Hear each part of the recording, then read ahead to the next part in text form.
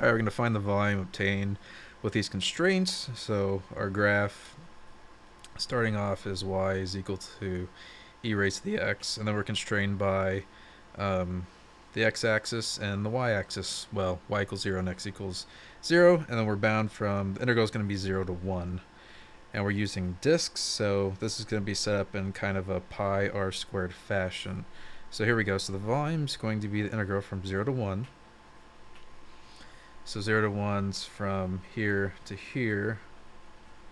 And then um, our equation's e raised to the x. And then we're going to square this.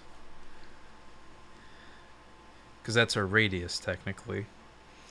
And then take it times pi. Alright, so what happens next here is... Um, we gotta integrate this. So pi times e raised to the 2x. So actually, uh, this square just ends up being 2x, and then the integral, that's just the same thing. And we go from 0 to 1. And what we end up with here is pi, actually, sorry, 1 half.